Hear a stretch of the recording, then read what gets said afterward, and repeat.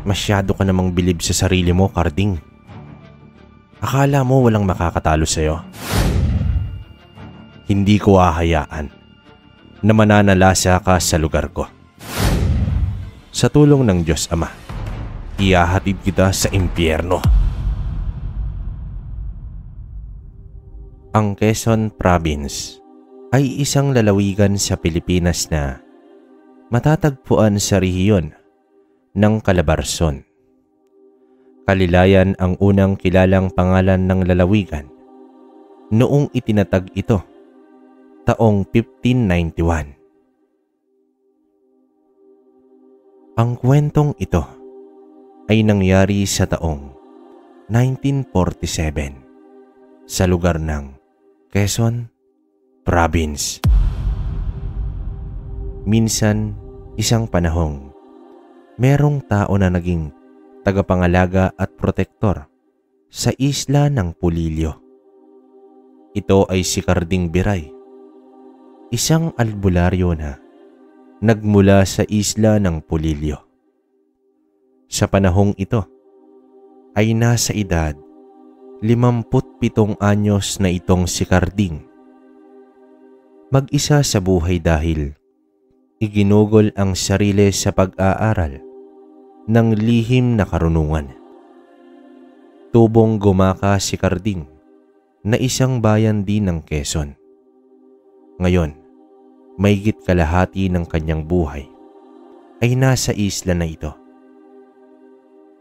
Dito niya mas hinusayan pa ang kaalaman sa panggagamot at pakikipaglaban sa mga nilalang ng dilim. Dahil sa mga kaibigang antingero, ay pinapaubaya na ni Carding ang pakikidigma nito sa mga aswang. Habang siya naman ay nagpakadalubhasa sa larangan ng panggagamot. Naniniwala kasi si Carding na hindi lahat ng sakit ay dahil sa natural na pangyayari, kundi sanhirin ito ng mga engkanto at mahikang itim. Ginawang misyon na ni Carding ang linisin ang buong isla. Pangarap niya na magkaroon ng isang paraisong lugar na mapuntahan ang mga tao lalo na ang mga susunod na henerasyon.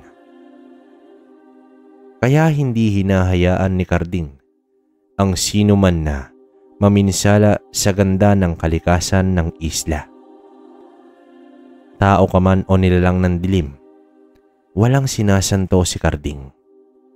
Hindi rin siya nagkakaroon ng awa sa mga tinuturing niyang salot ng kalikasan. Kaya pinili rin niya ang pagiging bangkero para sa mga taong nais masilayan ang ganda ng isla. Lalo pa sa panahong ito ay humupa na ang ikalawang digmaan ng mundo. Dinadayo na rin ang mga lugar dahil sa mga nagpapagamot sa kanya. Ang inaakala niyang mga dumadayo ay nagpapagamot at namamasyal lang sa isla iyon pala, ay may iba itong sadya. Kahit ganoong pagsusumikap pa ang ginawa ni Carding ay may nakalusot pa rin na kampon ng kadiliman. Walang iba, kundi si Mulong. Isang mangkukulam na nasa hilagang bahagi ng isla. Aksidenteng natuklasan ng albularyo ang pag-iral ni Murong dahil narinig niya ito mula sa usapan ng kanyang pasahero.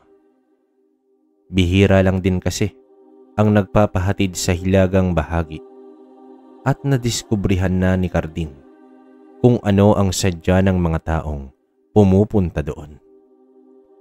Mga parokyano ni Mulong na nagbabayad upang kunin ang serbisyo nitong pangungulam. Malakas pa ang loob na nagtanong ang tao kung kilala daw ba niya itong simulong. Umiling lamang si Carding dahil hindi niya naman talaga kilala ang mangkukulam. Hindi muna hinarap ni Carding ang mangkukulam dahil pag-aaralan muna niya ang mga pangyayari bago ito umatake. Pero sa kalooban ni Carding ay naghihimutok na ito sa galit.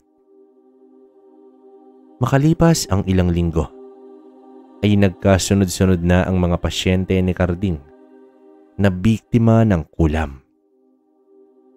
Mabuti na lamang ay ang lahat ng mga biktima ay napapagaling ni Carding hanggang isang umaga. Habang inihahanda ng albularyo ang kanyang bangka, ay nasipat niya ang isang lalaki. Nasa 40 pa at malaki ang katawan nito. Patay mali siya lamang si Carding dahil alam niya na iyon ay simulong. Nakatitig ito ng masama sa kanya at ramdam na ramdam ni Carding ang bigat ng presensya ng mangkukulam. Naghihintay lamang na aatakihin siya nito. Subalit, alam ni Mulong na hindi tinatablan ng kulam ang matanda. Kaya hanggang sa pagtitig na lamang ito. Sa katunayan, minsan ang sinubukan ni Mulong Nakulamin ang matanda kaso walang epekto ito at nagpapakiramdaman lamang sila. Pero isang araw, sumangguni ang kanyang kaibigan na si Mario dahil sa biglaang pagkakasakit ng anak nito. At nang nasilaya na ng albularyo ang bata, ay kinulam nga ito. Sa kadahilanang ito ay talagang sinusubok ni Mulong. Naagapan naman niya agad ang kulam at sa pagsapit ng umaga ay binaybay ni Karding ang dagat mula kanluran patungong hilaga. Hindi na nag-atubili pa si Karding na sumugod sa bahay ni Mulong. Tumayo sa tapat ang albularyo habang dahan-dahan naman na lumalabas si Mulong na nakangisi. Hawak ni Mulong ang isang manika na gawa sa balat ng mais. At sa kabilang kamay ay isang napakaliit na patpat na kulay itim at patulis ang dulo. Anong gusto mong patunayan, Mulong? Talagang hinahamon mo ko? bungad dito ni Carding.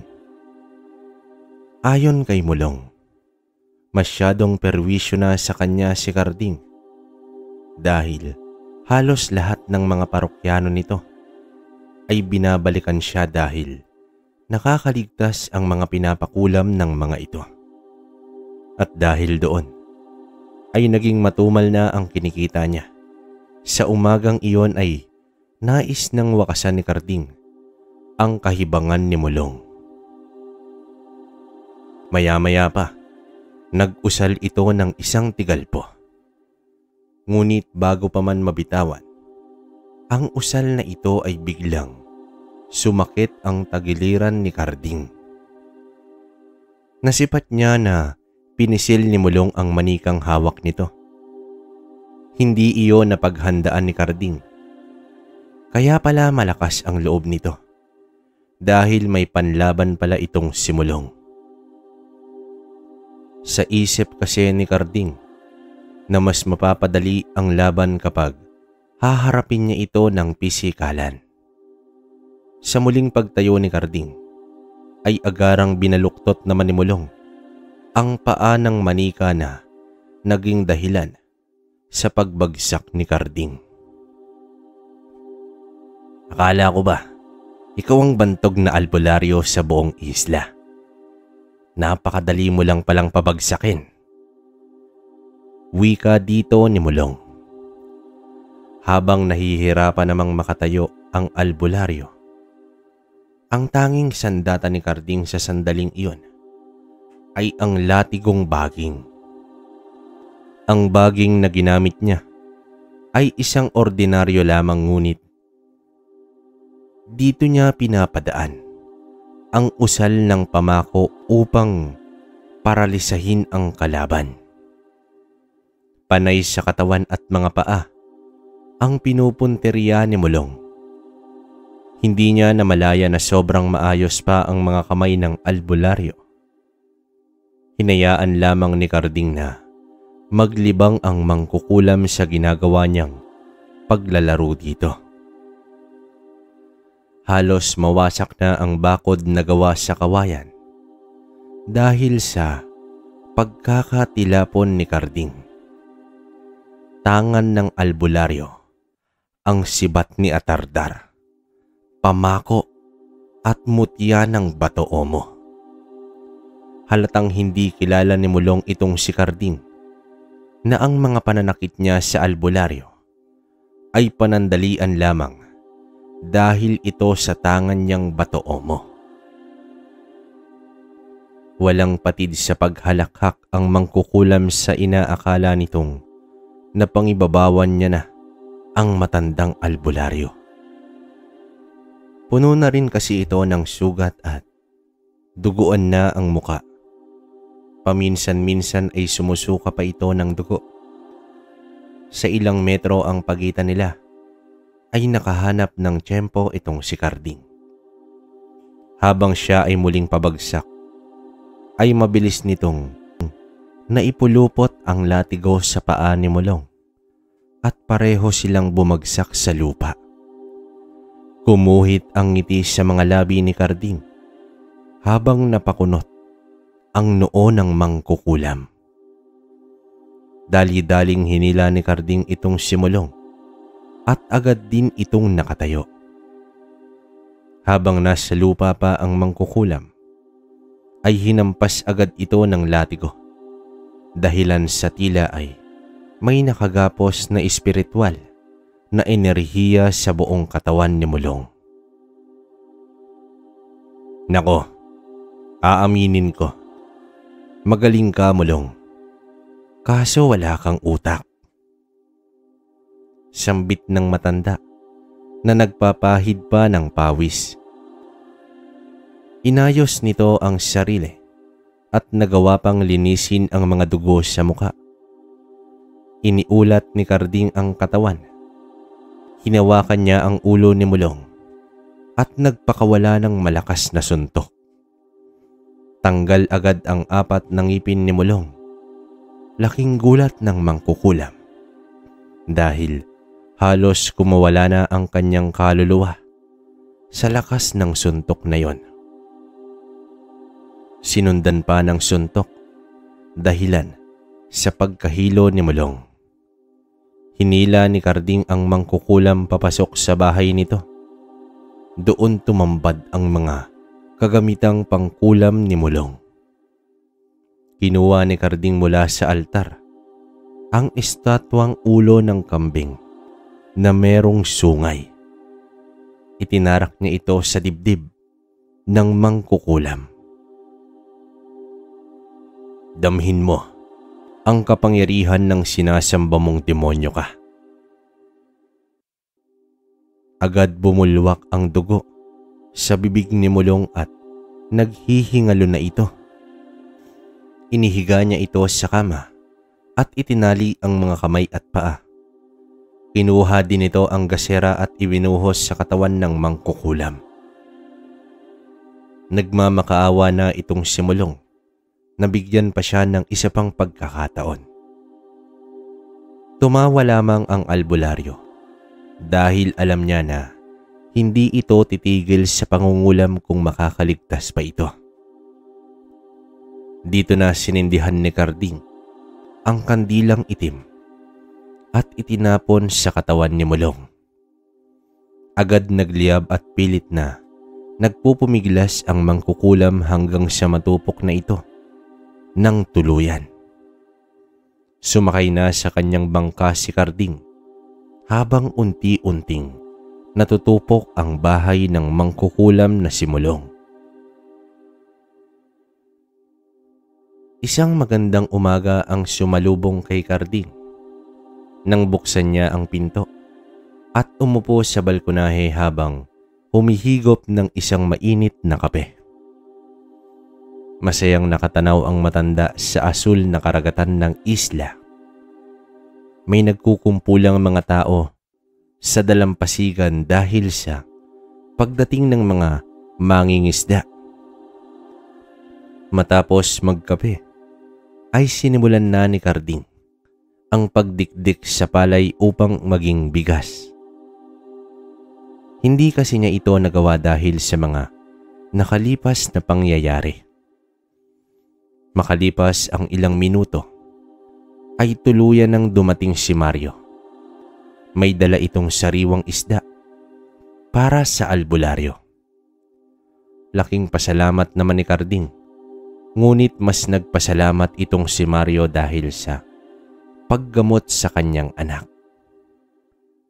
Malimit din naman na may nagbibigay ng sariwang isda, mga gulay at prutas kay Carding dahil siya nga ang takbuhan ng mga may sakit sa lugar at hindi ito naniningil ng salapi. Naging normal na rin ang takbo sa pang-araw-araw ni Carding. Nakakadalawang balik si Carding sa pagbabangkero at bago lumubog ang araw ay nakikipag-inuman ang albularyo ng lambanog sa kanyang mga kaibigan. Mataas din ang respeto ng mga tao sa kanya. Pero minsan, may naging karanasan si Carding sa mga taong abusado sa kalikasan. Tulad na lamang ni Abner at ang mga tauhan nito.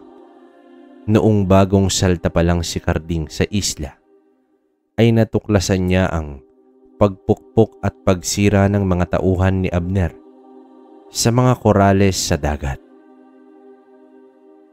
paraan ito upang magsiangatan ang mga isda para mas makahuli ng marami ang mga ito. Labis itong kinundina ni Carding at sinuway itong si Abner. Pinagtawanan lamang ng lalaki ang maliit at patpatin na si Carding. Dahil sa kakulitan ni Carding, ay sinuntok na siya ni Abner Subalit hindi man lang natinag ang albularyo. Animoy tinapik lamang ito ni Abner. Nang mapuno na si Carding ay nagpamalas na ito ng lakas at nilabanan si Abner. Sampu ng kasamahan nito. Binugbog sila ni Carding at pinabagsak. Simula noon ay binigyan ni Carding ng gawain ang grupo ni Abner naatasan sila na maglinis lagi sa dalampasigan. Isa pa sa binigyan ng leksyon ni Carding ay ang mga taong gumagawa ng kaingin. Bilang tanda sa ginawa nito, ay inatasan niya ito na magtanim ng mga halaman sa bahaging kinaingin ng mga ito. Samantala, isang hapon, bilang panghuling biyahe ni Carding, ay may pasahero siyang biktima ng barang. Ayon sa mga ito, ay pupuntahan nila ang albularyong si Carding. Lingid sa kaalaman ng mga ito, ay ang bangkero ay ang mismong si Carding. Imbis na ibiyahe ay doon na sinuri ni Carding ang biktima. Nagtaka naman ang mga kamag-anak nito sa ginawa ni Carding habang sinusuri niya ang babaeng walang malay at mabilis ang paghinga ay nagpakilala ang albularyo. Laking pasalamat naman ng mga kamag-anak ng biktima dahil hindi na sila babiyahe ng ilang oras. Sa mismong bangka, inihiga nila ang babae. Ayon sa kasama, may nakaaway na matanda ang dalaga at aminado ang kamag-anak nito na may kagaspangan din ang ugali ng babae. Ang problema ay hindi nila kilala ang matanda at hindi rin sila sigurado kung iyon ba talaga ang bumarang o nagpabarang. Nag-usal na si Carding at inihip sa tenga ng babae. Ilang segundo lang ang nakalipas ay may lumabas na insekto dito na agad naman hinuli ng albularyo. Nagpasunog siya ng papel at isinaboy sa apoy ang insekto. Sa sandaling ito ay unti-unti nang umayos ang kaninang namumutla nitong balat. Palihim naman na nag-abot ng salapi ang ina ng biktima. Ngunit tinanggihan ito ng albularyo. Humiling na lamang ito na kung alam na nila ang pagkakakilanlan ng matanda, ay sabihin ito sa kanya. Gawa ng araw-araw naman siyang bumabiyahe. Sa pag-alis ng mga tao, ay napatingin si Carding sa buong paligid. Inisip nito na may isang masamang nilalang na naman ang naghahasik ng lagim. Ngunit wala siyang ideya kung saan at sino ito. Ilang araw ding inabangan ni Carding ang impormasyon tungkol sa mambabarang hanggang sa may binatilyo na lumapit sa kanya at nagpakilala ito na kapatid ng babaeng nabarang at may iniabot na sulat. Ang sulat na iyon ay nagmula sa ina nito at nagsasabing ang pangalan ng mambabarang ay si Ursula. Kapatid ng matandang nakaalitan ng biktima. Nakasaad din sa sulat kung saan matatagpuan ang mambabarang sa isang liblib na baryo sa bayan ng Impanta. Nagpasalamat naman si Carding sa binatilyo at umalis na rin ito. Kahit wala pang pasahero ay nagpasya ng umalis si Carding upang paghandaan ang paghahanap sa mambabarang. Akmang itutulak niya na ang bangka ay may sumitsit sa kanya. isang matandang babae na hawak sa leeg ang binatilyo na may nakatutok na patalim. Agad nakiusap si Karding na palayain ang bata. Subalit, ngumisi lamang ang matanda na may maitim na ngipin at dali-daling ginilitan sa leeg ang binatilyo. Napasigaw na lamang si Carding at agad pinuntahan ang binatilyong nakahandusay na sa lupa. Bigla naman naglaho ang matanda na sa hinuha ni Carding ay si Ursula. Agad humingi ng saklolo si Carding ngunit nalagutan na ng hininga ang binatilyo. Sa inasal ng matanda ay isa na itong demonyo at halang na ang kaluluwa nito.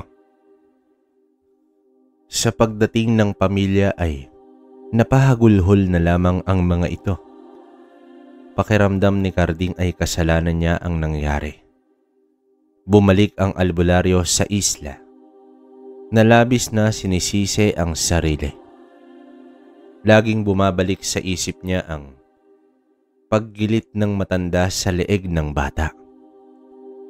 Ipinangako ng albularyo na hindi siya titigil hanggat hindi niya mahanap at mapatay ang mambabarang. Bilang pagrespeto sa araw, ay araw-araw din dumadalaw ang albularyo sa lamay. Nahihiya na rin ang kamag-anak ng namatay sa ginagawa ng matanda. Alam nilang taga-kabilang isla pa ito pero Baliwala iyon kay Carding. Bagamat tuwing araw lang naroon, itong si Carding ay malaking bagay na rin para sa kamag-anak. Hanggang sa huling gabi ng lamay. Nagpasya si Carding na hindi na muna uuwi sa isla at makikihatid din ito sa huling hantungan. Sa mga araw na nagdaan ay walang presensya si Ursula na umiiral. Bagay na ikinasama pa ng loob ni Carding Dahil sa araw-araw na pagpunta niya sa lugar, ay nakahanda ito para sa kanilang labanan. Habang nagdarasal ang lahat sa sementeryo, may nasipat si Carding sa malayo. Hindi na iyon sakop ng sementeryo at may iilang puno ang naroon. Isang figura ng babae na nakaitim at may balabal ang nakatingin sa kanila na nagkukubli sa isang puno. Sa pag-alis ng mga tao ay nagpasya si Carding na magpaiwan muna. Hindi pa rin umaalis ang babaeng nakakubli. Marahan itong pinuntahan ni Carding at ilang metrong pagitan ay lumabas at nagpakita ng tuluyan ang babae. Inalis nito ang balabal sa muka at nagpakilala ito bilang si Margarita. Nasa linya, 20 pa ang edad nito base sa kanyang itsura. Ayon sa babae, ilang araw na daw niyang inaabangan si Carding dahil alam nito na isa itong manggagamot. May sadya ang babae sa kanya Biktima ni Ursula ang nanay niya. Chinempo ito ng mambabarang habang nasa malayong lugar siya. Noon pa ay may alitan ang matanda at ng ama ng babae bilang isang antingero. Inamin rin ni Margarita na may tangan siya. Ito ay ang mutya ng palos. Subalit hindi pa ganoon kalawak ang alam niya kaya lagi siyang natatakasan ni Ursula. Inilahad din ng babae na hindi basta-basta si Ursula. Napakalawak ng sakop nito. Ang nais ng babae ay makipagsanib sa matanda upang magapi ang mambabarang. Walang masamang presensya ang babae at nakikita sa mga mata nito ang pagnanasang maipaghiganti niya ang nangyari sa kanyang ina. Nang matanong ni Carding kung nasaan na ang ama nitong antingero, malungkot na inilahad ng babae na natalo at napatay ang kanyang ama ng isang gabunang aswang. Pero nais muna nitong magpakadalubhasa bago humarap sa gabunan. Dahil sa sinseridad na naramdaman ni Carding sa babae, ay nagpasya na itong makikiayon sa pakikibaka nito. Nagtungo muna ang dalawa sa bahay ng namatayan at nagpaalam si Carding at nangakong bibigyan ng hustisya ang pagkamatay ng kanilang anak. Isinama ng babae si Carding sa tahanan nito Halos isang oras din nilang nilakad ang lugar ng babae. Sa pagdating nila ay naroon ang kapatid nito na naghihintay sa kanyang ate. Si Bebong. Konting taon lang ang pagitan sa babae. Inabisuhan agad ni Margarita ang kapatid tungkol sa plano nila ni Carding. Malugod naman na tinanggap ng lalaki at nagpapasalamat rin ito dahil may makakasama na rin ang kanyang kapatid sa pagtugis nito kay Ursula. Ayon pa sa binata, sa bawat pag-alis ng kanyang kapatid ay hindi ito mapakaliat. Laging nangangamba kung makakauwi pa ba ang kanyang kapatid. Pansin ni Carding ang katakot-takot na mga pangontra laban sa mambabarang at aswang na nasa labas at loob ng bahay. Dinaig pa nito ang bahay ni Carding kung pangontra ang pag-uusapan. Natuwa naman ang matanda dahil sa gawi ng magkapatid. Habang nag-uusap sina Margarita at Carding, ay nasabi nito na marunong sa labanan ang kanyang kapatid. Yun nga lang wala itong tangan. At kahit nais pa nitong samahan siya sa labanan, ay mahigpit niyang pinagbabawalan. Ito na lamang ang natira sa kanya, kaya labis niyang pinangangalagaan ang kapatid. Kinabukasan, kinausap ni Carding itong si Margarita. Kung magkakaroon ba ng tangan ang kapatid, ay papayag na ba siya na sasali ito sa labanan. Tumango naman si Margarita pero nagdadalawang isip ito. Alam mo, Iha, ang buhay natin ay nakatadhana na. Mas mabuting may ginagawa tayo habang hinihintay natin ang paglubog ng ating araw. Wika dito ni Carding. Napaisip ang dalaga sa mga salita ni Carding.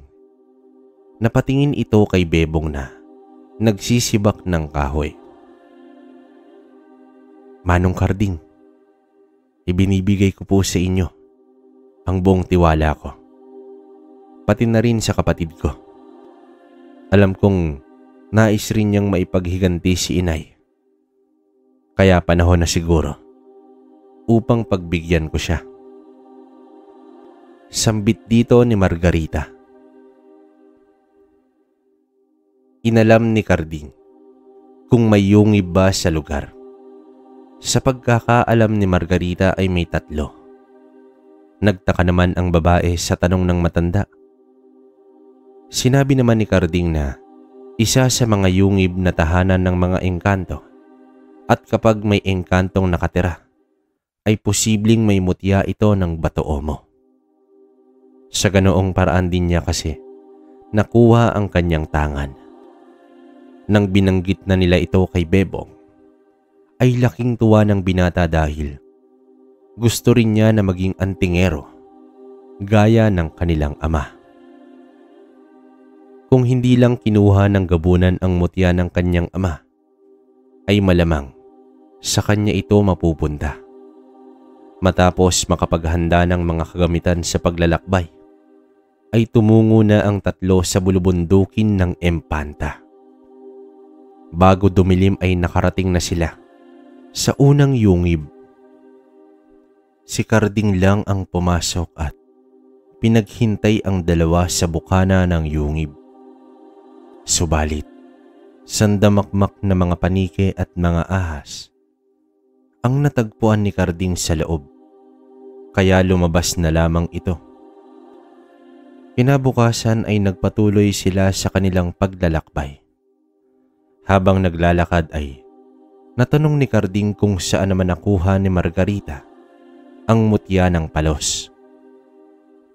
Ito naman ay namana niya sa kanyang lolo Bago lumisan ang lolo nito ay nasanay pa niya ang apo sa labanan. Sa isang natural naman na pangyayari ang dahilan sa paglisan ng kanyang lolo. Samantala, inabot na naman sila ng gabi bago matagpuan ang ikalawang yungib. Nang masipat pa lang ni Carding ang bukana, ay nakaramdam na ito ng mga elemento. Inabisuhan niya ang magkapatid na isasama niya na sa loob itong si Bebong habang nag-aabang si Margarita sa labas. Ayon sa dalaga, sa pagkuha ng mutya ay tila mas magagawa niya ito ng mabilis dahil sa kakayahang taglay. Subalit sinabi ni Bebong na mas mabuti na siya na mismo ang kukuha ng mutya. Bilang unang pagsubok niya na rin ito.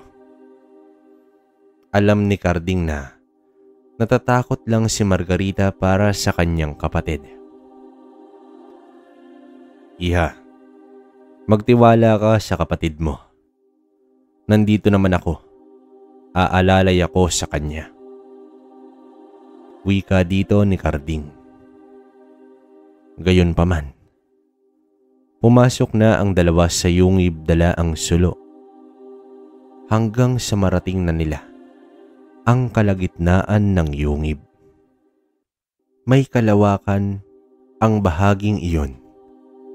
Isang napakaputing nilalang ang humarang sa kanila. Isang tamawo. Napangiti si Carding dahil ang tamawo ay ang tagapangalaga ng Bato Omo. Humakbang si Carding. Itinaas ang isang kamay at sinambit ang sibat ni Atardar. Biglang nagliwanag sa buong lugar at nasa ibabaw ng nakataas na kamay, nakalutang ang isang espiritual na sibat. Napaatras ang tamawo sa nakita at nagsilabasa naman ang iba pa. Namangha naman si Bebong sa nakita nito. Itinuro ni Karding ang mga mapuputing bato na nagkukumpulan. Bebong, puntahan mo at hanapin mo ang batong namumukod tangi ang kinang. Wika dito ni Karding. Batid ni Bebong na takot ang mga engkanto sa sibat na nakalutang sa ere. Kaya nagmadali naman na hinagilap ni Bebong ang batoomo. Habang naghahanap ay hindi niya maiwasan na makadama ng labis na takot at kaba dahil sa dami ng tamawo ang nakapaligid sa kanila. Hanggang sa may nasipat na si Bebong na isang bato na namumukod tangi. Agad niya itong kinuha at nabitawan pa niya dahil sa biglaang pag-angil ng mga engkanto. Nang mapulot niya na ito, ay agad niya itong inilagay sa tela at isinilid sa bulsa. Tumakbo ka na, Bebong. Sigaw dito ni Karding. Sumunod agad si Karding at naglaho na rin ang sibat. Isinaboy naman ni Karding ang hawak niyang sulo at tumakbo ng matulin ng malapit na sila sa bukana. Ay sinalubong sila ni Margarita na may hawak na dalawang sulo at isinaboy sa mga tamawo. May ginawang siga naman ang dalaga sa labas. Tagumpay ang pagkuha ni Bebong ng mutya hindi na rin sila nagpahinga at binaybay na ang daan pabalik sa kanilang lugar. Sa paglipas ng mga araw, ay itinuro naman ni Carding kung papaano gamitin ang tangan, kalakip, ang mga usal nito. Isang araw, may nabalitaan si Margarita na biktima ng barang agad sumangguni si Carding. Nanlumo na lamang ang albularyo dahil nasa bingit na ng kamatayan ang lalaking na biktima. Halos masakop na ng mga nagnananang sugat ang katawan nito. Inabisuhan naman ni Carding ang pamilya ng lalaki na posibleng hindi nakakayanin nito ang gamutan na gagawin ni Carding. Ngunit nakiusap naman ang pamilya na gagawin ang lahat para sa kanilang anak. Dahil sa pakiusap, ay tumugon na lamang si Carding kahit alam niya na wala na iyong pag-asa. Nag-usal ang albularyo para sa pagsanib ng kaluluwa sa bumarang nito. Ilang minuto pa ay biglang dumilat ang lalaki at ngumisi may garalgal na boses na tila dalawa o tatlong tao ang nagsasalita. Laking gulat na lamang ni Carding dahil demonyo na pala ang sumanib sa lalaki. Gamit ang espiritual na pamako ay ipinako ni Carding ang demonyo subalit. Humahalakhak lang ito at nanlilisik ang mga mata hanggang sa nangisay na lamang ang biktima at tuluyan ng nalagutan ng hininga. Lumabas ng bahay si Carding na bigo. Ni hindi man lang niya nalaman kung si Ursula ba ang gumawa. Ginalugad na nila ang halos buong impanta. Subalit kahit katiting na presensya ni Ursula ay wala silang mahagilap. Kaya nagpasya si Carding na dalawin muna ang kanyang bahay sa isla ng Pulilyo. At upang makamusta na rin ang mga kaibigan sa lugar. Ninais naman ng magkapatid na sumama sa matanda dahil hindi pa sila nakakaapak sa isla. Habang inihahanda na ni Carding ang bangka, ay may isang lalaki na nagmadaling nagtungo sa kanya. Isa ito sa mga bangkero. Ayon dito, limang katao na sa kanilang lugar ang namatay dahil sa barang. Hindi na nag-aksaya pa ng oras si Carding at agad itong nagsagwan. Kinuha naman ni Bebong ang isa pang sagwan upang matulungan ang matanda. Sa pagdating ni Carding ay agad sinalubong siya ng iilang taga-baryo at ibinalita ang mga nangyayari. Ayon sa mga ito, isang matandang babae ang bigla na lamang sumulpot at naglalaho at naghahasik ng lagim. Sa katunayan, may tatlo pang nakaratay na biktima rin ng kulam. Si Ursula. Kaya pala hindi natin mahanap sa Infanta. Dahil nandito ang demonyong yon. Sambit dito ni Margarita. Tila siguradong sigurado ang dalaga sa binanggit Ayon pa sa kanya, kilalang kilala niya na itong si Ursula. Parang laruan lang sa kanya ang pambabarang. Maikling ipinakilala naman ni Carding ang kanyang mga kasama at agad naman na nagtungo sa bahay ng isang biktima. Sa awa ng Diyos ay nailigtas pa ni Carding ang tatlong biktima. Hindi naman makatulog ang albularyo dahil sa pag-iisip sa mga nangyayari habang wala siya sa lugar. Tinabihan naman siya ni Bebong at kinausap kung ano ang magiging plano nila. Nangako naman ang binata na gagawin ang lahat. Makatulong lamang. Napangiti naman ang matanda sa determinasyon ni Bebong. Inaya na rin niya ito na matulog na dahil mag-uumpisa na ang kanilang laban. Kinabukasan ay ipinasyal ni Carding ang mga kasama upang maging pamilyar ito sa lugar. At para na rin makilala ng mga tao sa baryo. Habang masayang nakikipag-usap si Margarita, sa iilang babae ay nasipat niya si Ursula na nakatayo sa gilid ng isang bahay at nakangisi ito sa kanya. Ngunit ang labis na ikinagulat ng dalaga ay ang mga insektong gumagapang papasok sa bintanang ng bahay.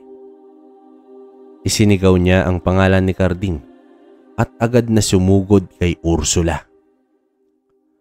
Napalingon naman sa direksyon ni Margarita si Carding at agad na nagtungo.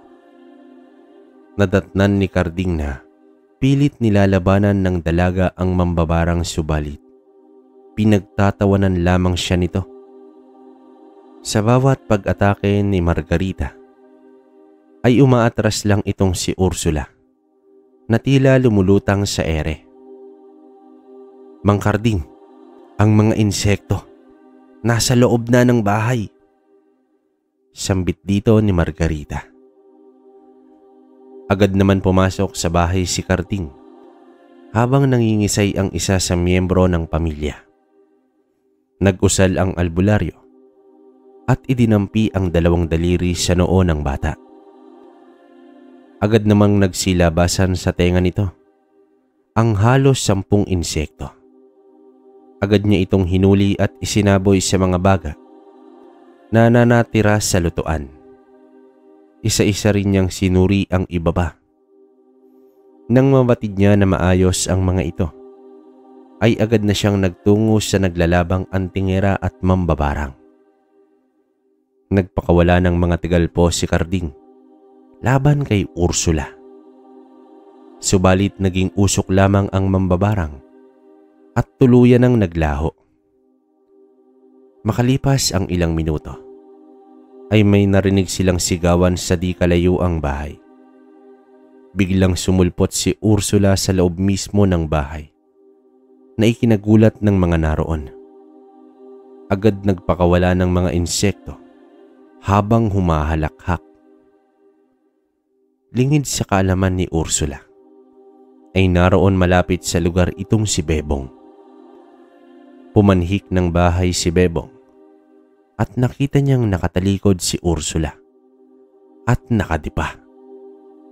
Hindi na nagdalawang isip si Bebong at agad sinuntok sa ulo ang mambabarang. Napasubsob si Ursula sa sahig ngunit agad itong nakabawi at sa isang hampas ng kanyang kamay ay tumilapon ang binata palabas ng bahay. Nadat na naman nila Karding ang paggulong ni Bebong sa lupa. Ayos lang ako, Manong. Si Ursula, nasa loob. Panggigigil na wika ni Bebong. Agad tumalon papasok ng bahay si Margarita.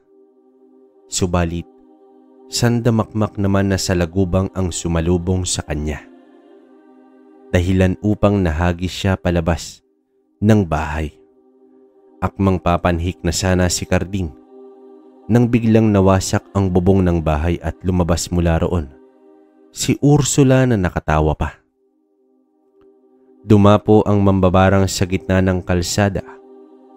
Gumawa ito ng ipo-ipo na gawa sa mga nagkukumpulang sa lagubang.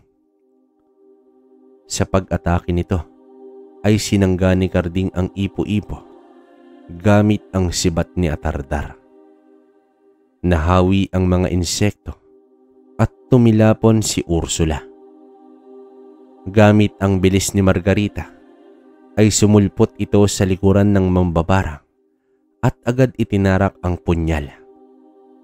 Napasigaw si Ursula at ininda ang saksak sa kanyang likuran. Bigla namang sumugod si Bebong at inundayan niya ng suntok ang matandang mambabarang.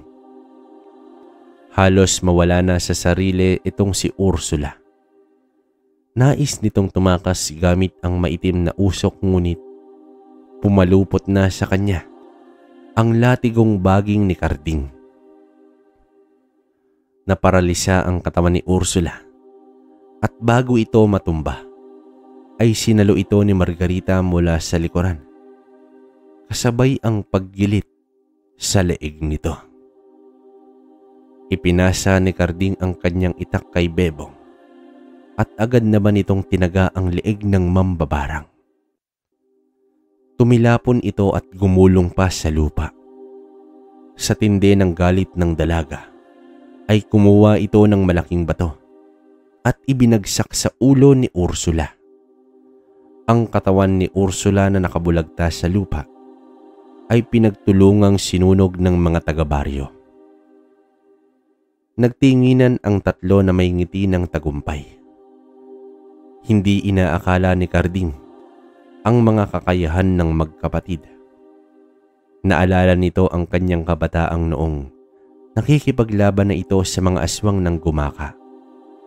Labis-labis naman ang pasasalamat ni Margarita sa matanda dahil sa wakas ay napaslang niya na rin ang nilalang na lagi na lamang siyang natatakasan sa pamamagitan ng maitim na usok.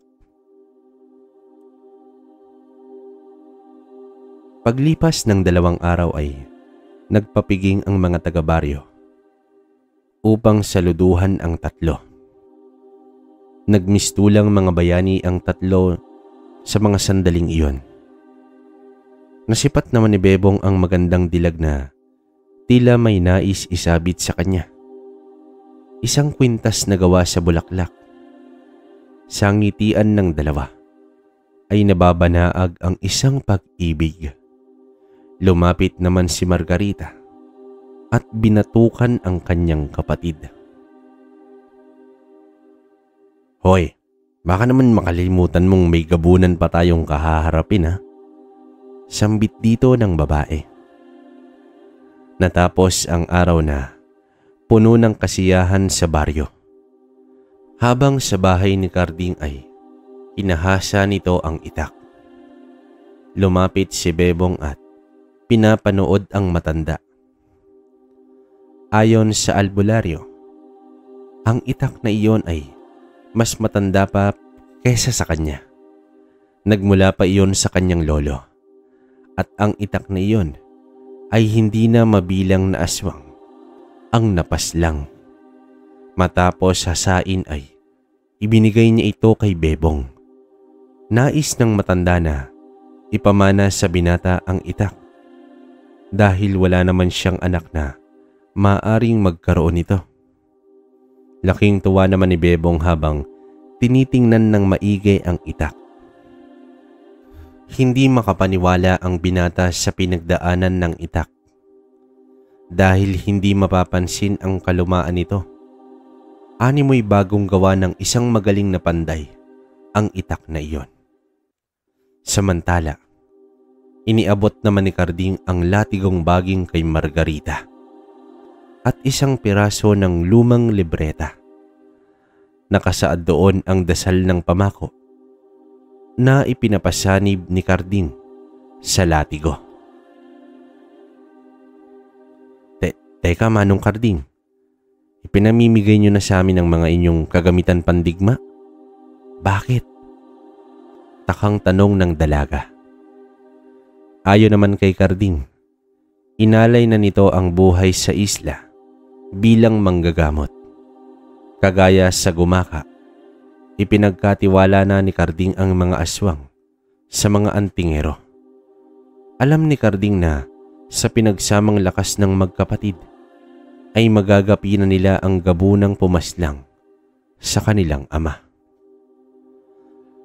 Sa araw ng kanilang pag-alis sa isla ay nangako ang magkapatid na muling babalik sa pulilyo lalo na si Bebong na nag-iwan pa ng matamis na ngiti sa dalagang nakilala sa piging bilang bangkero ng magkapatid na antingero. Hangad ni Carding ang tagumpay nila sa bagong misyong susuungin. Lumipas ang ilang buwan. Muling napanatili ni Carding ang katahimikan at kaayusan sa buong isla. Napangiti na lamang ang matanda sa simple ngunit ligtas na buhay ng mga taga-baryo.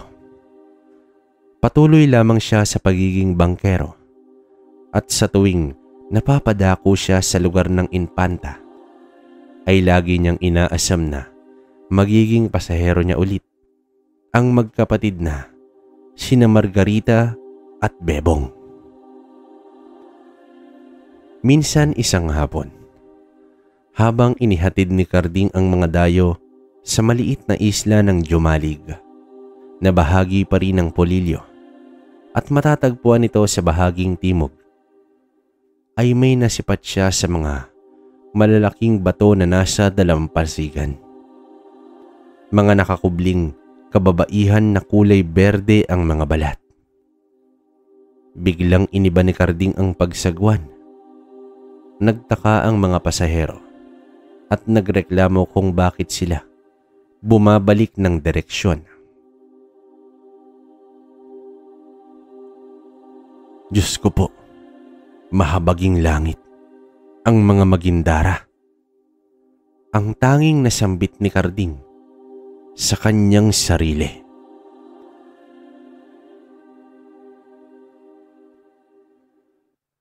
Sa buhay natin ay may mga tao tayong nakakasalamuha maaring kaibigan o maaring kalaban.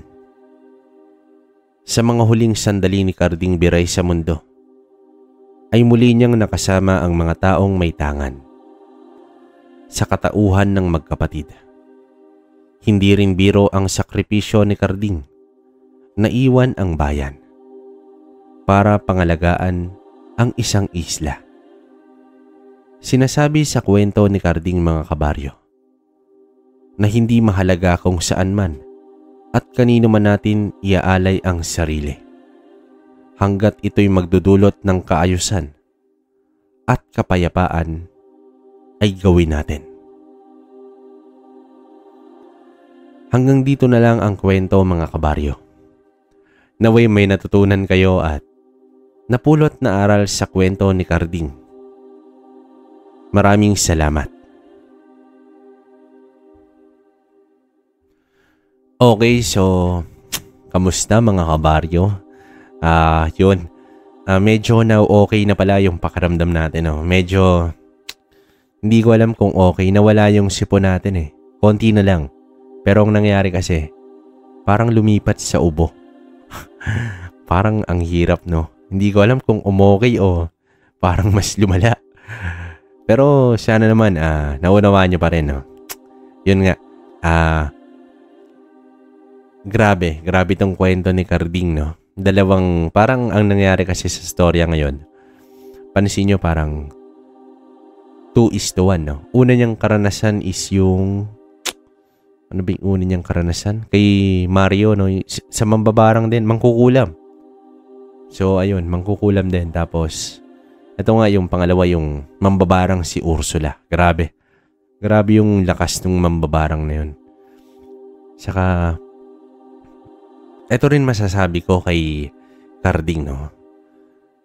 Hindi, rin biro kasi yung taglay niya, isipin nyo alam naman natin na normal na yung bato mo sa mga antingero sa manggagamot. Pero yung uh, spiritual na espada ni Atardar, grabe yun. Kaya pansin nyo yung ibinigay niya dun sa dalawang magkapatid. Hindi nabanggit yung spiritual na espada. No? Kasi nga parang alam ko, malalim na aral to ng ng kanan. No? Hindi rin to basta-basta may papasa. Hindi kaya nung latigong baging na may libreta. Kumbaga yung libreta kasi, nandun yung usal, no? So, hindi rin siya ganun na pwedeng, eto, oh, ganito gawin mo. Okay na yan, lalabas na yung spiritual na espada. Hindi ganun. Kumbaga, inaral ng matindi to. Tapos, yun nga, yung, ah, uh, ano binigay dun sa isa, yung itak, no?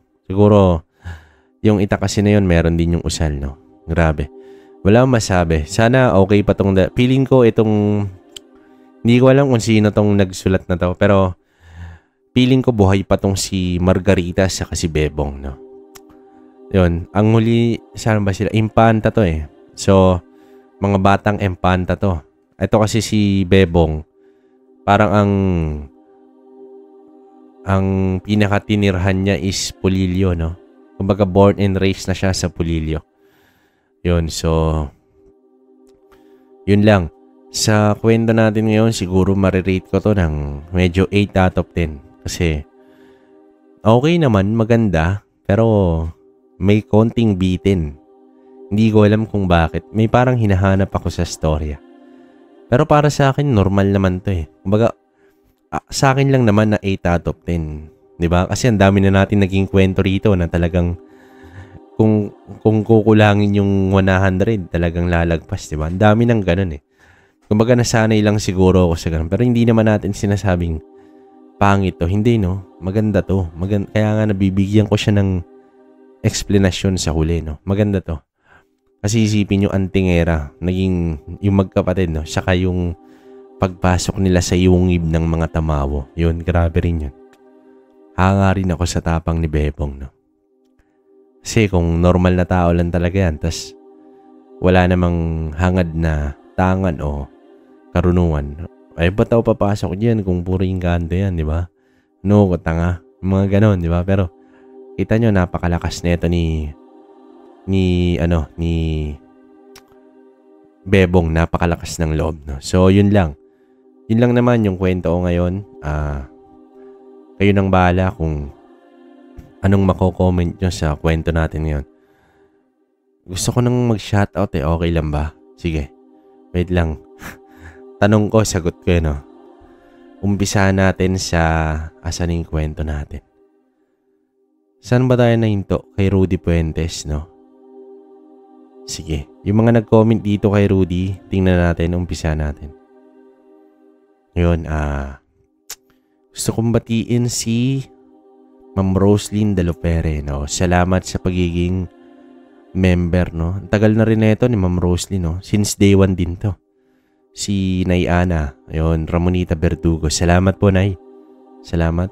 Si Ma'am Arlene Kulsbesa, yan, isa rin yan sa mga, ang dami. Hindi ko na, alam nyo, kabaryo, parang kahit nakapikit ako, kaya ko nang banggitin yung mga pangalan nyo. No? So, dahil naman doon masaya ako, nagpapasalamat ako. Si Ma'am Jenny Golosino, salamat po. Feli Rivera Raimundo, ang sabi ni Ma'am Feli, ang ganda ng kwento. Ang inggit walang magandang kahihinatnan. Get well soon, narrator. God bless. Salamat po, Ma'am Feli. Si Tita Sareno yan, shoutout. Isa rin yan sa mga suki natin na lagi nakikinig. At yon si Boss Brain, no? Brain Omega. Yon, shoutout sa'yo, boss. Uh, marami akong gustong i-shoutout pero susunod-sunod rin natin. Hindi naman tayo bias eh. Lahat naman kayo, gusto kong basahin yung comment nyo. Mapabago o luma o yung mga antigo na KB. Talagang solid KB natin. Ito, si Maria Cristina Goma. Ang sabi ni Ma Maria, Huwag ka muna mag-narrate, huminto ka muna, pahinga kailangan mo. Uminom ka ng salabat, yan ang gamot at masahe ang kailangan. Yun nga, Ma'am Maria, walang magmamasahe sa atin. Baka meron dyan mga kabaryo na may alam, no? Yun, malay nyo, pwede naman tayong pamassage, no? Ah, si Ma'am Rosita Nicolas, salamat po. Karma is real, sabi niya. Si Ma'am Insorio Reyes, yan. Ganda talaga ng mga kwento mo. Paganda po ng boses mo po. Salamat, Ma'am Insorio. Ah, Saan iba? Melinda Talento. Yun. Ma'am Melinda Talento, salamat. Sabi ni Boss Charlun Roland. Ah, ganda ng kwento, KB. Yun. Salamat, Boss Charlun. Ah, si Evelyn Paul, no? From Germany. Salamat po, Ma'am Evelyn. Ah, Hi Kabaryo, basta para sa akin maganda lahat ng kwento. Wow. Araceli Asahi, yan. Si Boss Ria, uh, Renato Labiano. Shoutout sa'yo. Hail Rain Led. Yon, salamat po. Tapos dito na tayo kay Tiagong Sumpak. So lahat ng nandito babasahin ulit natin. Marami-rami to. Yun, ah... Uh, sabi ni Boss Brino Mega, morning start uh, to work while listening the kwentong baryo. Naks, English yan. Na, si Ma'am Apple Pie, no? Lagi niyang inaabangan yung mga kwento natin. Salamat po, Ma'am Apple Pie. Ingat ka palagi, no? Si Ma'am Maricel Sumiyaya na isa rin nating member, no? Salamat, Ma'am Maricel, no? Ingat ka kung nasan ka man. Uh, Risa May Kaina, salamat, Ma'am Risa May. Good morning, kabaryo. I'm back. Nawala daw si Ma'am Risa, no? from Brunei, no? Shoutout sa inyo dyan. Magandang umaga ka, Barrio. Listening from Dubai. Salamat, walang pangalan eh. Uh, David Junyega from KSA. Salamat, salamat. Uh, Jopit Sardoncillo from Malta, Europe. No, nasa Europe si uh, Boss Jopit. Salamat, boss. Adrian sa Granada. Wow, salamat, boss. Ah, si Boss Shifter Place, no? Salamat sa pakikinig, boss. Pinay sa Cyprus, si, uh, yun, tama. Wala talaga magandang may dudulot ang pagiging basagulero. Yun, salamat, Nay. No? Ingat ka kung nasan ka man ngayon. Si Ma'am Elsa Constantino, si Lisa, no? Lagi nagko-comment yan. Si Ma'am Catherine Blasquez, salamat po. Happy si Granny kahit ang daming ads okay lang. Nax, still no skip. Salamat. Um, happy si Granny. Oo nga eh. Minsan lang tayo mabawi pero ewan kay YouTube parang tayong inuutakan. When, ah, uh, ano to? Wena, Wena, Wena Jalbuna. Wena Jalbuna, yun. Shout out po uh, dito sa Limay Bataan, Gutierrez family. Salamat po, Wena. Si Ma'am Alma Hornales, no? Yun, mga suki natin yan. Uh, Ronnie Panagpasan, salamat din, idol. Ah, uh, eto. May comment si tita. Yun, ayon sa kwento, marami na rin siyang napatay na tao. Buhat ng natuto siyang man... Oh, ito yung kay ano, kay Tiagong Sumpak, manlalason nga to. Bad image to para sa akin, pero okay din naman. Wala tayong magagawa. And get well soon, Sir Ray. Mag-take ka always ng vitamin C. At iwas sa malamig na inumin. Yun, salamat tita. Yun nga eh, lagi tayong malamig eh. Ewan ko ba? si Lai, Lani Arthur. Lani Arthur. Salamat po. Ma'am Lani Emil Bautista. Salamat po sa inyo. Susan Manalo. Ayun. Good afternoon, kabaryo. Sir, sir, okay pa din naman ang voice mo. Ganda nga eh. Pang bedroom voice. Oh, ano yung bedroom voice? pang kwarto lang. Grabe naman. Pang kwarto lang tayo mga kabaryo. Salamat, Ma'am Susan. Cora Hidalgo. Ah, salamat sa magandang kwento, kabaryo. Nakakawala ng pagod sa aming mga OF. Namiss ko yung tunog pag sinas... Oo nga, babalik natin yan, Ma'am Cora, kasi nagkaroon ng ano eh, problema sa audio ko. Kasi nga, nag-cellphone, nasira yung laptop, di ba? Eh, cellphone lang gamit natin ngayon. Medyo hassle-hassle pa tayo, may sakit. Uh, Inday kami, Eva La Rosa. Salamat po, ma'am. Naawa ko sa kapatid. Oo, Ma'am Inday. Grabe tong kwentong to kay Tiagong Sumpak. Si Ma'am Charita Dacles, yon. Darren De Leon.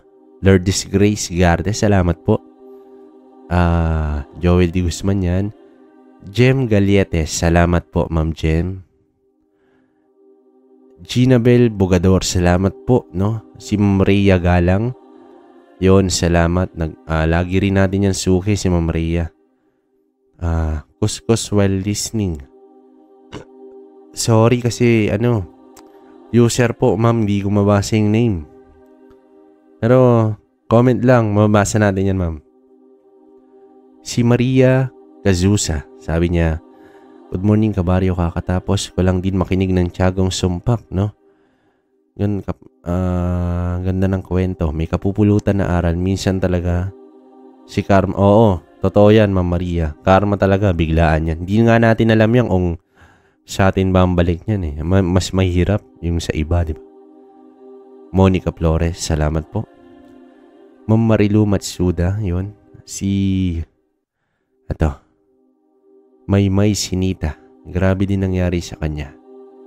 Halos lahat ng mahal niya nag, nagkandamatay. Nag-start lang naman yan sa nangyari sa girlfriend niya nakakainis si Roman. Uy, nagpalit ng profile si Maymay Sinita. Ayun, fresh to si ma'am, no? Salamat, ma'am Maymay. Alam niyo, Abario, ang ganda nung ano, Parang yung mga profile nyo, ano, may logo ng KB. Ano sa tingin nyo? Kaya lang, nakakaya na.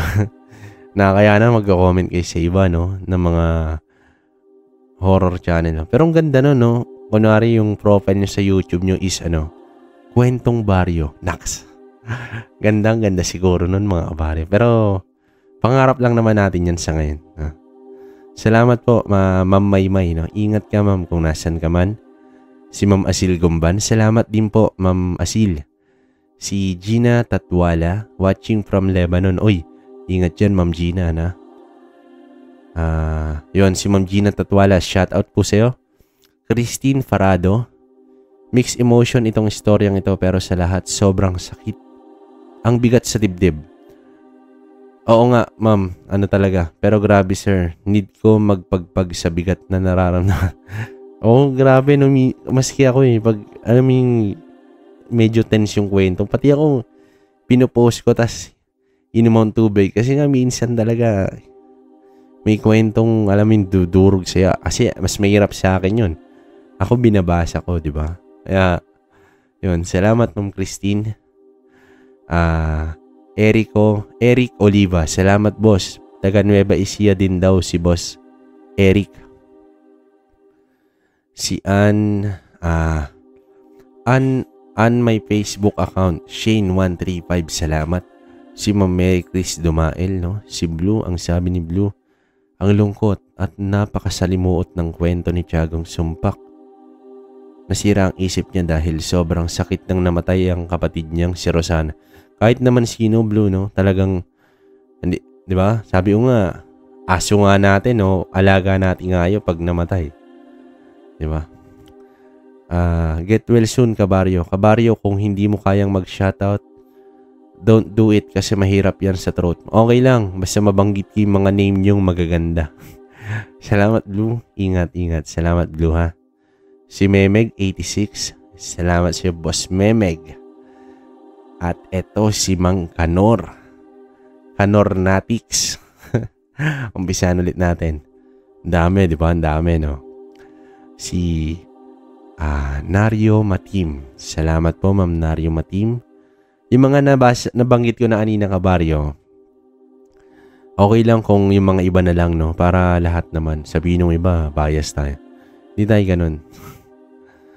San sa kapis yan? Taga Dumalag ako. Username eh. Iba-iba to boss yung lugar ni Mang Kanor eh. Ah, Vanessa Rose Malorca. Listening from Antique. Salamat po. Ah, maulang araw mga manlalakbay. Hoy, kabaryo to. Hindi, joke lang. Kay Otits yan, si manlalakbay. Kayo na lang mag-decide kung sino, kung mahala kayo pag gusto nyo kay Otich. Suplado yan. Walang shoutout yan. De, joke lang. Mabait yan, mabait yan si Otich natin. Alam nyo naman na maestro natin yan. So, yan. Ah... Uh, Abigail Salonga, salamat. Maulang araw po ka, Barrio. Salamat sa pag-shoutout at sa palagiang pag-upload. God bless po sa iyo. Salamat din, uh, Abigail. Uh, Lily Simala, salamat. From Europe, si Ma'am Lily.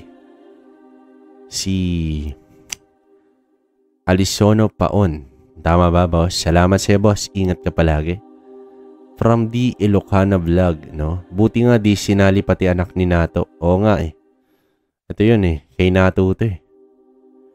Kay Mang Kanor sa ana. Natatawa kay Mang Kanor. No? Ha? Sorry, Mang Kanor. Ni Kanor kasi ito eh. Si Inday Samante, salamat po.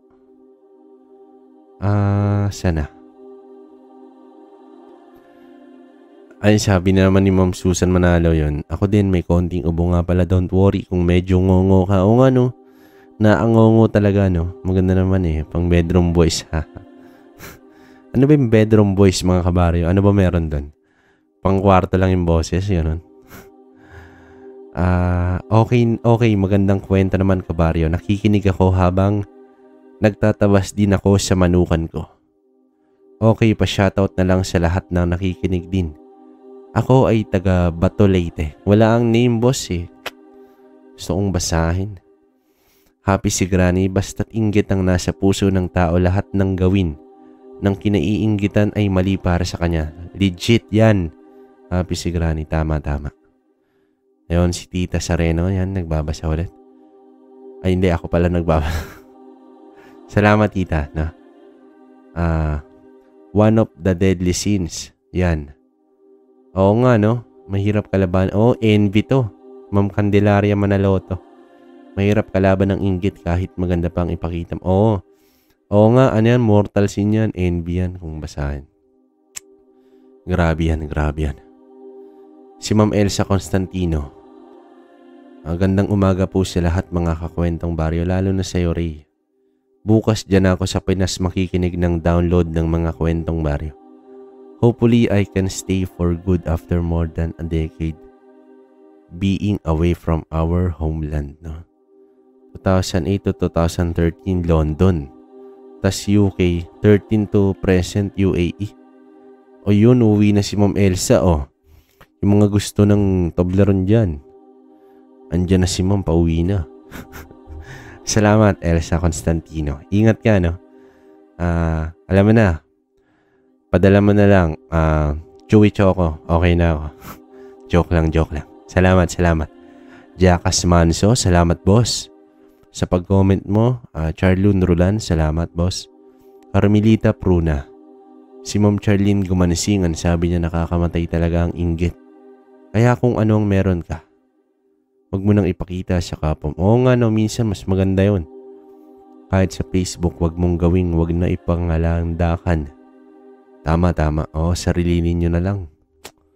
So, okay yan. Para sa akin ha, tama naman. Si, yon si Inday ng Pari. Salamat, uh, madam. Salamat ka, Baryo. Maraming aral ang kwentong to. Minsan or karamihan na pag umangat na ang isang taong meron at meron hihila pababa. Yan yung di nat- natatanggal sa ugali sa ating mga Pinoy. Oh, legit yan. Yun. Sabi ni Inday ng Paris. No? Salamat, salamat po ma'am. Legit naman yan. Si Julie, ang sabi niya, wala talagang may dudulot ang inggit sa kap. Legit naman yan. Wala na tayong pagtataluhan kay Mang Kanor.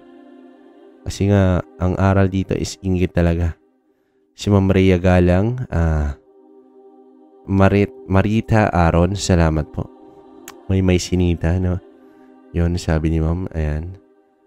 Ah, uh, Hazel Borzena, salamat po, Ma'am. Pa-shoutout ka baryo dito sa Malta, Europe. Ang ganda ng mga kwento. Giliw na giliw ako. Salamat po. Emma Kuruki. Ayun, ang gaganda ng mga story niyo po. Maraming salamat. Salamat din si Ma'am Marilu Matsuda. Sabi niya, ayan, lagi kasi na nakikinig si Ma'am Marilu eh. Pauwi, no? Pag pauwi to si Ma'am Marilu, lagi ito nakikinig sa atin. Salamat Ma'am Marilu, no? Ingat ka palagi kung nasan ka man. Si Boss Leo Daman, salamat din. Pilipina Palsario, salamat po ma'am. Si Uncle George, No, salamat sa iyo, boss. Ah, uh, sabi ni Ma'am Christine Farado, salamat muli sa kaabang-abang. Oh, salamat. Ang ganda ng boses mo, sir. Hawig mo din ang boses ni ang Pinuno. Ano to si Pinuno? Uh, ra, ano? Parang si Kabanong din, no? Ewan ko, magagaling na tong mga to ata eh. Hindi naman tayo level dyan. Shifter Place, napuntahan ko na ata yan sa Capiz eh. Baka naman nandiyan ka sa kwento, boss ah. Ikaw, si Araceli Asahi. I love you. Kay Barrio, sarap talaga ng boses at kwento mo. Wow, gra. Salamat po. Tahani Vlog, may ganyan talagang ugali. May inggit talaga sa yung tao. Salamat. Oo nga. Jasper James Kabunok Bigente. Pa-shoutout ka, Barrio. May aswang ba dito? Gusto ko may kaibigang aswang. Delikado yan. Bahala ka dyan. Ano ha? Labas ako dyan. Ellen Cueano, salamat po. Uh, asan yung iba? Danica Danica. Yun. Sabi niya, lumaki po ako sa Lingig, Surigao. Yan. Uh, Glenn Norbina, salamat, salamat boss. Joyce Messina, yan. Uh, Naulit na yung iba natin pero yun, okay na to, okay na to. Ah, uh, yun, sa gusto ulit magpa-shoutout, ah, uh, comment lang kayo sa mga latest natin na upload, mga kabaryo. Tapos, kayo nang bahala. Ako na bahala maghanap, no? So, yun lang naman. Sa, asa, ay, meron pa, Nor lang. Sabi ni Nor lang, yun. Dami pa pala, no? Natakpan lang. Romilin Zero, salamat. Ah, Renato Labiano, salamat, salamat. Ang dami natakpan kasi. Wait lang ah. Baka may magalit kasi pag di natin na shoutout. Si Shine Sunyo. Ay, ito, sabi ni Shine Sunyo, Good morning po, Mr. Narrator. Pwede po magbigay ng story. True story po sana po mapansin. Ito nga. Si Shine Sunyo. Re-reply ko lang. Sige. PM ka sa email natin. Salamat. Ayan na, on the spot. Tingnan nyo naman, nire-reply ko kayo. Tayo lang gumagawa. Grabe, oh, ito, pwede, pwede ito. Ah, uh, si Miles Manuling. May kilala. Ito ang daming comment ni Miles Manuling. Gusto kong ano yun to. Paano ba to? Ang tagal na kasi ng kwento na to eh. Alam niyo yung iba kabaryo, di ba lagi kayo nakikinig? Yung mga luma kong kwento sa lang ipapakita sa inyo, no? Hindi ko alam ah. May ganun eh. Hindi ko alam kung bakit ganun yung ginagawa ni YouTube, no? Hindi natin alam. Si Ma'am Jovelyn Kamantang, no? Salamat. Analisa Sagang Descartin. Salamat po. Ernesto Alvarado. Salamat, boss. Ayun. Okay na, okay na to. Yun, ah, uh, yun. Hanggang dito na lang, kabaryo. Bawi ako sa... Siguro next upload natin mga ano. Next next upload, doon na tayo mag-shoutout ulit. So, yun. Pero kayo pa rin bahala kung anong comment nyo rito sa kwento ni ni nino ba to? Nako, nawala pa sa isip ko. Sino yung bida natin? Grabe, ang dami kasing binasa. Ah, uh, Biray, no? Yun, kay Biray. Carding. Kayo nang bahala mag-comment. Tapos, yun, sa mga hindi ko nabanggit yung pangalan, uh, next next upload na lang natin. Maganda kasi kung magko-comment kayo dun sa latest na upload. Kasi pag yung luma, minsan, natatabunan na talaga kasi nga, kagaya ngayon, uh, nagdi-daily ulit tayo kasi nga, para maging okay na ulit. So, yung mga nag-comment nung mga nakarang uh, tatlong araw, parang medyo natabunan na. No? So, kaya mahaba yung shoutout ko. Nagre-recap ako. Kaya, yun. So, yun lang naman. Uh, muli, uh, kayo nang bahala, no? Salamat sa suporta.